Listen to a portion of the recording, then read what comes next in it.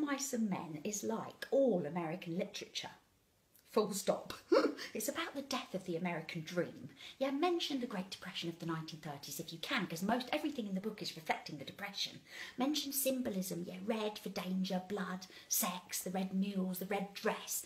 You know, if the themes come up, you can remember them with the word piddled. Yeah, look, prejudice, isolation, dreams, destiny, best laid schemes of mice and men and all that from the poem Der Mus loneliness, which goes with isolation, equality, not, death, obviously. Yeah, mention also the simple, realistic language and blunt moment. For Lennie had broken her neck, for example, you know. Mention the short sentences and talk about foreshadowing, which adds to the destiny theme.